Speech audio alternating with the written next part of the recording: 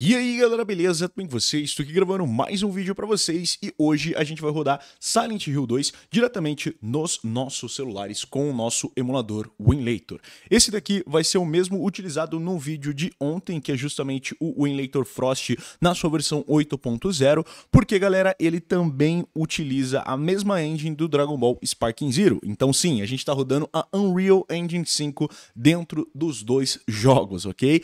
E melhor ainda é saber que a gente está rodando isso dentro de um celular, jogos tão recentes quanto esses, que são literalmente lançamentos. Só que assim como o nosso Dragon Ball Sparking Zero, graças a ele ser da Unreal Engine 5, não vai dar pra gente estar tá testando nos nossos queridos Red Magic, né galera? Porque eu queria testar no meu Red Magic, porém ele tem o mesmo bug do Sparking Zero, ele não consegue abrir devido aos drivers gráficos para Unreal, eh, Unreal Engine 5 no nosso querido Red Magic não estarem muito bem desenvolvidos. O 8 Gen 3 no geral, ou seja, S24 Ultra, o próprio Z Flip 6 não conseguiria abrir e o nosso Red Magic 9S Pro também não consegue abrir. Então por isso eu vou estar testando aqui no meu querido Poco F6, que tem o Snapdragon 8S Gen 3, uma versão mais basiquinha do 8 Gen 3, e aqui a gente vai ter também o nosso S23 com seu 8 Gen 2 e a gente vai ver se ele consegue rodar. Só que assim, primeiramente galera, o nosso Silent Hill é bem chatinho de a gente abrir, então não adianta a gente ficar fazendo configuração sem antes a gente saber o que, que a gente consegue abrir. A primeira coisa que você tem que fazer é vir aqui no seu container e, primeiramente, o executável que você vai utilizar vai ser um outro diferente. Você vai vir aqui até a sua pasta D, aonde você baixou aí o seu Silent Hill e tudo mais, e ao invés de você pegar esse executável aqui de baixo, né, que é o SH Proto, você vai simplesmente vir aqui nesse SH Proto, dentro da pasta do SH Proto, vai vir em Binaries, e aqui dentro dos binaries você vai ter a pasta Win64 e aqui você vai ter esse SH Proto Win64. Você clica com os dois dedos nele e você cria um shortcut diretamente para a gente poder ter acesso a ele. Você também vai aproveitar que você está aqui, vai vir aqui nessa guia do Instart e você vai vir aqui no Install Add-on Apps e aí você vai instalar o seu VC Redist X64, porque sem ele você não vai conseguir abrir o seu jogo. Tudo isso, agora que a gente já tem aqui o nosso shortcut do nosso Silent Hill, você clica aqui nesses três botõezinhos, vem aqui nas suas settings e você vai utilizar as mesmas configurações que eu estou utilizando.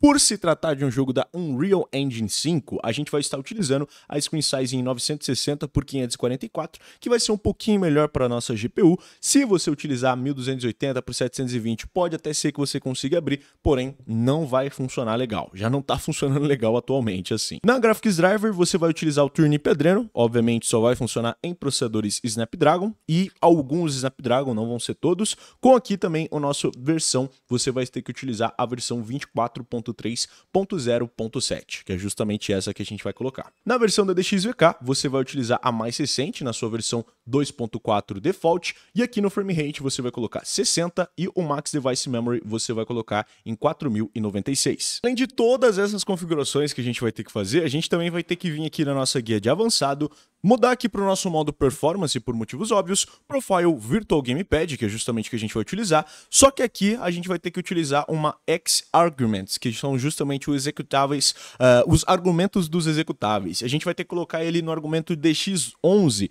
porque esse jogo geralmente abriria na DirectX 12, só que ao colocar esse DX11 a gente consegue abrir ele na DirectX 11 e ter uma forma de rodar ele sem ele ficar crashando a todo o momento. Agora é o nosso momento de rodar o Silent Hill Proto dentro do celular, no caso Silent Hill 2 Remake. Por motivos óbvios, né galera, eu vou estar utilizando as configurações mais baixas de gráficos, então aqui limite de taxa de quadros ilimitado, sincronização vertical desligado, o nosso FSR na sua versão 1.0, porque infelizmente a versão com DirectX 12, com DirectX 11 no caso, só suporta o FSR 1.0, o FSR 2 ou então com FrameGen só seria suportado na versão do DirectX 12, então não dá pra gente colocar nada. A predefinição do nosso FSR está aqui no nosso modo de desempenho e, é claro, a predefinição de qualidade de renderização está no modo personalizado. Só que aqui a gente colocou simplesmente tudo no mais baixo possível e a única coisa no alto foi o aumento da nitidez. E, cara, Aqui dentro do nosso querido Poco F6, não sei se por ter uma CPU um pouquinho melhor ou não estar preso ao One UI, ele tá rodando ligeiramente melhor do que dentro do uh, Galaxy S23. É claro que a performance ainda não vai ser aquelas coisas, afinal, Silent Hill tá um jogo bem pesado até no PC. No meu notebook que está gravando esse vídeo, não conseguiu rodar de uma maneira tão legal. Então, num celular já vai ser um pouquinho mais difícil da gente conseguir um FPS tão estável, né? Uh, mas pelo menos aqui no Poco F6 a gente consegue abrir, coisa que no nosso 8 Gen 3 do Red Magic 9S Pro a gente não consegue abrir de jeito nenhum. Ele chega simplesmente na tela de carregamento e não passa disso. Aqui, pelo menos, a gente já consegue ver aqui essa cutscenezinha inicial dele, eu consigo segurar aqui o B para pular ela, e a gente consegue realmente chegar na área de gameplay do nosso Silent Hill 2, galera. E que, como vocês podem ver, não, não está nada bonito com todas essas configurações que eu coloquei e com tudo no mais baixo possível. Ele está rodando apenas a 12 FPS aqui nessa parte inicial do nosso jogo, só que a gente também tem que dar um descontinho para ele, porque essa daqui é simplesmente uma das partes mais pesadas logo no início do jogo, além, é claro, da parte da cidade e tudo mais, porque aqui ele tem que renderizar todas todas as árvores, as folhazinhas e tudo mais. E a única maneira da gente conseguir um FPS ligeiramente mais estável é simplesmente olhar para o chão e olha só o nosso FPS virando ali 30 FPS, galera. Então sim, é, dá pra gente jogar 30 FPS o Silent Hill 2, mas é só a gente olhar assim pro horizonte que simplesmente o nosso FPS dropa e a gente não consegue jogar mais com uma performance tão legal, né? Deixa eu tentar seguir aqui pelo caminhozinho que ele tem, mas assim, a performance definitivamente não tá tão legal e como vocês podem ver, a Unreal Engine 5 pesa demais aqui dentro de celulares. Tanto que a nossa GPU, mesmo com tudo no mais baixo possível, está rodando a 100% de uso.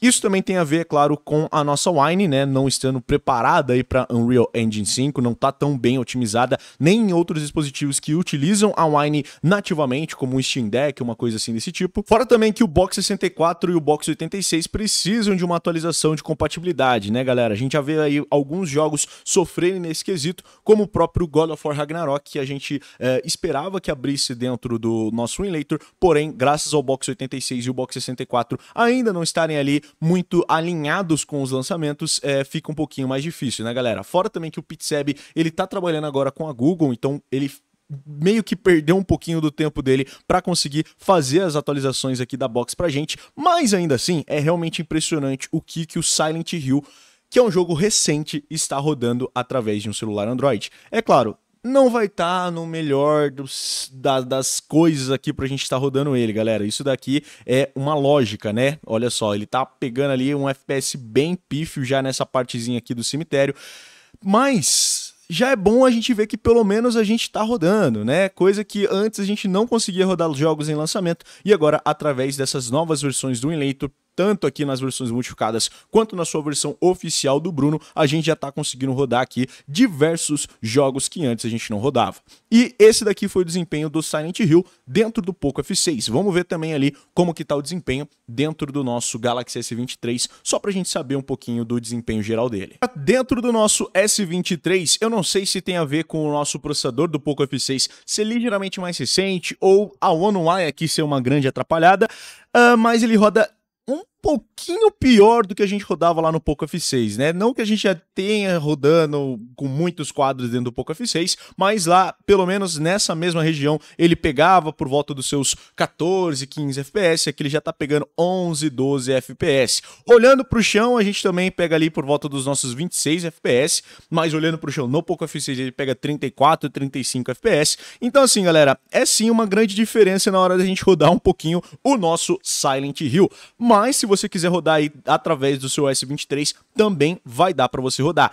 Como eu falei, você não vai ter uma performance tão legal quanto a gente teve no Poco F6. Como vocês podem ver, a RAM aqui conta muito e o Poco F6, por ele ter aí os seus 12 GB de memória RAM, pelo menos a versão que eu comprei dele, é, ele vai aguentar um pouquinho mais do que o nosso S23, porque o S23 aqui tem a One UI para rodar em segundo plano, a One UI pesa muito dentro da sua memória RAM e graças a isso a, o nosso desempenho não fica tão estável assim. E eu juro para vocês, eu testei esse jogo antes de gravar para vocês e ele não estava tão tão travado quanto ele está agora. Por algum motivo, o jogo simplesmente decidiu começar a travar mais do que antes, e isso daqui já nota que ele está assim no seu limite para ser executável dentro de um celular com One UI graças à Samsung e, é claro, os seus 8 GB de RAM, igual a gente tem no S23. Mas, no geral, galera, esse daqui foi o teste do nosso querido Silent Hill através dos nossos celulares. Espero que vocês tenham gostado desse vídeo. Se vocês gostaram, não esquece de deixar o seu gostei aqui embaixo. Se inscreva no canal aqui embaixo também para mais vídeos como esse e vários outros. Comenta, compartilha, adicione esse vídeo favoritos, liga o sininho para não perder mais nenhum vídeo. E é nóis, galera. Valeu e falou! Tchau, tchau!